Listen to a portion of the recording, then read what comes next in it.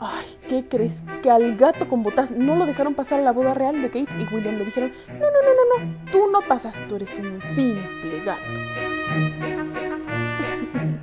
¿Qué tal? Bienvenidos al cuento de todos los días. ¿Cómo andan sus finanzas, eh? Permítanme que les cuente un cuento. Este cuento que es cuento de todos los días.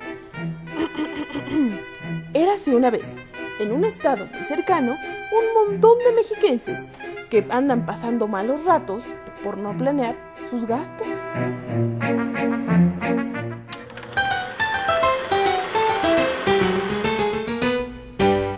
Ay, qué bonito. Ya se casó, ya se murió, ya se casó y todo valió. Con qué gallardía, con qué porte caminó hasta el altar. Por fin se decidió a ponerse la soga al cuello y a compartir las mismas sábanas, el mismo baño, el mismo cepillo de dientes y las mismas deudas. Ah, sí.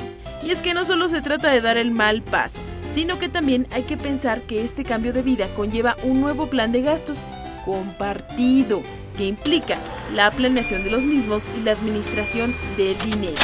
Mire, algo que muchas parejas no hacen y que después les trae problemas personales y financieros es determinar qué gastos serán compartidos, sin perder de vista los gastos fijos individuales. Un error común es pensar que todo el dinero es conjunto. No, cada quien debe tener un presupuesto personal, de lo contrario, se perderá el control de los recursos individuales y empezarán a tener problemas por el control del todo. Por eso hay que aprender a planear sus gastos en pareja. Miren, establezcan metas patrimoniales, luego planeen a corto, mediano y largo plazo y por favor repartan gastos equitativamente. Y es que si no planean de manera correcta el pago de un auto, un triste electrodoméstico e incluso una hipoteca, pueden pasar de ser un sueño en donde corren los venadillos a una pesadilla donde llueven las deudas. Acuérdese de lo que decían las abuelas, que cuando la pobreza entra por la puerta, el amor pues se sale por la ventana. Por eso, para que no planear su vida en pareja no sea cuento de todos los días, pare la oreja y oiga la moraleja.